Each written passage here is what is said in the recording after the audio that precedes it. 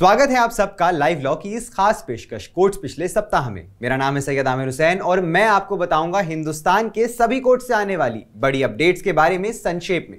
लेकिन अगर आप किसी भी खबर के बारे में गहराई से जानना चाहते हो या अन्य ज़रूरी खबरें पढ़ना चाहते हो तो लॉग इन करिए हमारी वेबसाइट पे www.livelawin या हिंदी में पढ़िए हिंदी.livelawin पे। साथ ही इन सब खबरों के लिंक आपको डिस्क्रिप्शन में मिल जाएँगे। तो चलिए शुरू करते हैं। चुनाव प्रक्रिया के बीच में हस्तक्षेप करने में अनिच्छा व्यक्त करते हुए सुप्रीम कोर्ट ने शुक्रवार 24 मई को उस आवेदन को स्थगित कर दिया, जिसमें बूथ वाइज मतदाता मतदान की पूर्ण संख्या प्रकाशित करने और फॉर्म 17 सी रिकॉर्ड अपलोड करने के लिए भारत के चुनाव आयोग को निर्देश देने की मांग की गई थी।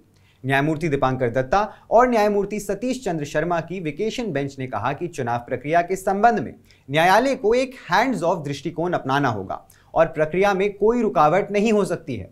पीठ ने यह भी बताया कि अंतरिम आवेदन में प्रार्थनाएँ 2019 में दायर मुख्य रिट याचिका में प्रार्थनाओं के समान है। पीठ ने कहा कि अंतरिम आवेदन में मुख्य राहत की मांग नहीं की जा सकती है और सुझाव दिया कि आवेदन को मुख्य याचिका के साथ ही सुना जाए। अंतरिम आवेदन गैर सरकारी संगठन एसोसिएशन फॉर डेमोक्रेटिक रिफॉर्म्स यानी एडीआर द्वारा 2019 में दायर एक रिट याचिका में दायर किया गया था। सुप्रीम कोर्ट ने बुधवार 22 मई को झारखंड के पूर्व मुख्यमंत्री हेमंत सोरेन की वो याचिका खारिज कर दी, जिसमें उन्होंने झारखंड में कथित भूमि घोटाले से संबंधित मनी लॉन्ड्रिंग मामले में प्रवर्तन निदेशालय यानी ईडी द्वारा उनकी गिरफ्तारी को चुनौती दी थी। न्यायमूर्ति दीपांकर दत्ता और न्यायमूर्ति सतीश चंद्र शर्मा की वेकेशन बेंच ने मामले पर विचार करने में अनिच्छा व्यक्त की, जिसके बाद याचिकाकर्ता ने याचिका वापस लेने का फैसला किया। पीठ ने सुनवाई के दौरान मौखिक रूप से कहा कि याचिकाकर्ता ने ईडी द्वारा दायर शिकायत पर संज्ञान लेने वाली विशेष अदालत से संबंधित तथ्यों का खुलासा नहीं किया है। सुप्रीम कोर्ट ने सोमवार 20 मई को भारतीय दंड संहिता 1860, भारतीय साक्ष्य अधिनियम 1872 और आपराधिक प्रक्रिया संहिता 1973 को बदलने के लिए संसद द्वारा बनाए गए नए आपराधिक कानूनों को चुनौती देने वाली याचिका पर विचार करने से इनकार कर दिया। याचिकाकर्ता पर विचार करने की अनिच्छा के कारण याचिकाकर्ता अधिवक्ता विशाल तिवारी जो व्यक्तिगत रूप से पेशकार के रूप में उपस्थित हुए ने इसे वापस लेने का फैसला किया। तदनुसार याचिका वापस ली गई मानकर खारिज कर दी गई। उन्होंने भारतीय न्याय संहिता, भारतीय नागरिक सुरक्षा संहिता और भारतीय साक्ष्य अधिनियम को चुनौती दी, जो 1 जुलाई 2024 से आईपीसी, इंडियन एविडेंस एक्ट और सीआरपीसी को प्रतिस्थापित करते हैं। जैसे ही मामले की सुनवाई हुई, वेकेशन बेंच में जस्टिस बेला एम त्रिवेदी और जस्टिस पंकज मित्तल शामिल थे। बेंच ने तिवारी से कहा कि वे मामले को खारिज कर रहे हैं। हालाँकि तिवारी ने अपनी चिंताओं को उठाते हुए सरकार के समक्ष एक अभ्यावेदन दायर करने की स्वतंत्रता मांगी, लेकिन पीठ ने इनकार कर दिया। सुप्रीम कोर्ट ने बुधवार 22 मई को गैर कानूनी गतिविधि रोकथाम अधिनियम यानी यूएपीए के तहत आरोपित, प्रतिबंधित पॉपुलर फ्रंट ऑफ़ इंडिया यानी पीएफआई से जुड़े आठ लोगों को जमानत देने के मद्रास उच्च न्यायालय के एक आदेश को रद्द कर दिया। कोर्ट ने इन लोगों की जमानत ये कहते हुए रद्द कर दी कि उनके खिलाफ आतंकवादी कृत्यों को अंजाम देने के लिए धन इकट्ठा करने का आरोप प्रथम दृश्य सच प्रतीत होता है। न्यायमूर्ति बेला त्रिवेदी और न्यायमूर्ति पंकज मित्तल की पीठ 19 अक्टूबर 2023 के उच्च न्यायालय के आदेश के खिलाफ राष्ट्रीय जाँच एजेंसी की चुनौती पर फैसला कर रही थी। पीठ ने कथित अपराधों की गंभीरता पर ध्यान दिया।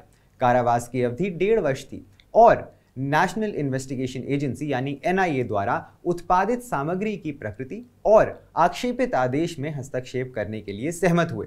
कोर्ट ने जमानत रद्द करते हुए सुनवाई में तेज़ी लाने का भी निर्देश दिया। ये देखते हुए कि दोषियों की सजा में व्यापक असमानता मौजूद है, क्योंकि ये पूरी तरह से न्यायाधीश केंद्रित है। सुप्रीम कोर्ट ने सिफारिश की कि केंद्र सरकार छह महीने की अवधि के भीतर एक व्यापक सजा नीति तैयार करे और उस पर एक रिपोर्ट पेश करने की व्यवहारता पर विचार करे। न्यायमूर्ति एम एम सुंदरेश और न्यायमूर्ति एस वी एन भट्टी की पीठ ने कहा, चूँकि सजा देना व्यक्तिगत न्यायाधीश की राय का मामला है, इसीलिए सजा पर स्पष्ट नीति या कानून के अभाव के कारण सजा देने में असमानता पैदा होती है। भारतीय जनता पार्टी, यानी भाजपा ने कलकत्ता उच्च न्यायालय के उस आदेश के खिलाफ सुप्रीम कोर्ट का दरवाज़ा खटखटाया है, जिसमें उसे तृणमूल कांग्रेस, टीएमसी के खिलाफ कुछ अपमानजनक विज्ञापन छापने से रोक दिया गया है।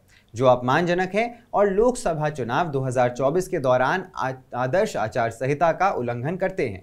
भाजपा द्वारा दायर विशेष अनुमति याचिका, तत्काल सुनवाई के लिए न्यायमूर्ति बेला त्रिवेदी और न्यायमूर्ति पंकज मित्तल की अवकाश पीठ के समक्ष उल्लेखित की गई। वकील ने तत्कालिकता के बारे में बताते हुए कहा कि पार्टी के खिलाफ एक एक पक्षीय आदेश पारित किया गया था, जो 4 जून तक लागू रहना था। कलकत्ता उच्च न्यायालय ने पश्चिम बंगाल पुलिस को भाजपा नेता सुवेंदु अधिकारी के आवास सह कार्यालय में कथित तौर पर मिली अग्नि अस्त्रों और बड़ी मात्रा में नकद की शिकायतों की जाँच करने से रोक दिया है, जो उनके निजी सचिव के नाम पर थी। न्यायमूर्ति अमृता सिन्हा की एकल पीठ ने समन्वय पीठ के आदेश के आधार पर पुलिस की जाँच पर 17 जून तक रोक लगा दी, जिसमें निर्देश दिया गया कि राज्य पुलिस को वर्तमान मामलों के संबंध में अधिकारी के खिलाफ कठोर कदम उठाने से पहले अदालत की अनुमति लेनी होगी। कोर्ट ने कहा कि चूँकि जल्द चुनाव होने हैं, इसीलिए गर्मी की छुट्टियों के बाद कोर्ट दोबारा खुलने पर पुलिस की जाँच पर रोक लगाई जा सकती है।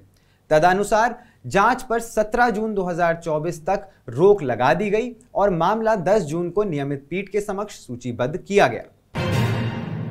दिल्ली उच्च न्यायालय ने निजी एयरलाइंस को उड़ानों के लिए मनमाना, अतार्किक और अत्याधिक किराया वसूलने से रोकने के लिए हवाई किराए पर सीमा लगाने के लिए दिशा निर्देश जारी करने की मांग करने वाली जनहित याचिका यानी पीआईएल को खारिज कर दिया है। कार्यवाहक मुख्य न्यायाधीश मनमोहन और न्यायमूर्ति मनमीत प्रीतम सिंह अरोड़ा की खंडपीठ ने वकील अमित सहानी और बिजोन कुमार मिश्रा द्वारा दायर याचिकाएँ खारिज कर दी। अदालत ने कहा कि डीजीसीए द्वारा दायर जवाबी हलफनामे से पता चलता है कि निजी एयरलाइंस द्वारा हवाई किराया मूल्य निर्धारण अनियंत्रित नहीं है और इसे विमान नियम 1937 के अनुसार डीजीसीए द्वारा विनियमित किया जा रहा है। इलाहाबाद उच्च न्यायालय ने भारत सरकार और केंद्रीय फ़िल्म प्रमाण बोर्ड, यानी सीबीएफसी से नेटफ्लिक्स एमेजॉन प्राइम जैसे ओवर द टॉप यानी ओटीटी पर प्रदर्शित फ़िल्मों के प्रमाण के लिए स्थापित तंत्र के बारे में विस्तार से जानकारी प्रदान करने को कहा है। न्यायमूर्ति रंजन रॉय और न्यायमूर्ति ओम प्रकाश शुक्ला की पीठ ने 2015 की तेलुगु फ़िल्म धी अंटे धी, जिसका नाम ताकतवर पुलिस वाला था, कि डब हिंदी संस्करण को जारी किए गए सेंसर प्रमाण पत्र को रद्द करने की मांग करने वाली एक जनहित याचिका यानी पीआईएल पर विवरण मांगा, क्योंकि फ़िल्म में बिहार के लोगों के खिलाफ कथित संवाद थे।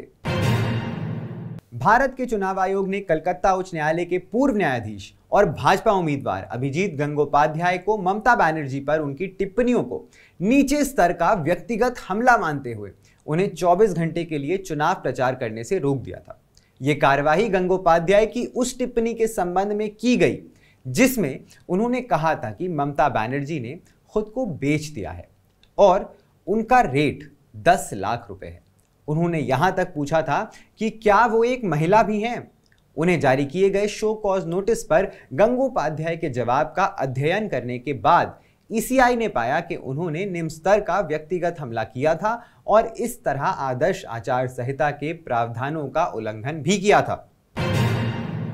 ज़्यादा जानकारी के लिए सब्सक्राइब करिए हमारा यूट्यूब चैनल या विज़िट करिए हमारी वेबसाइट www.livelawin जहाँ आप इन सारी ही खबरों के बारे में अच्छे से जान सकते हैं। लाइव लॉ हिंदी पे आपको हिंदी में सारी ताज़ा अपडेट्स भी मिल जाएँगी। अगर आपको ये वीडियो पसंद आया है तो इसे लाइक करिए और कमेंट करिए अपने व्यूज़ हमें YouTube पर सपोर्ट करने के लिए हमारे चैनल को ज्वाइन करिए एज अ मेंबर और केवल नवासी रुपए प्रति माह में आप हमें सपोर्ट करके लीगल जर्नलिज्म को प्रमोट कर सकते हैं। धन्यवाद।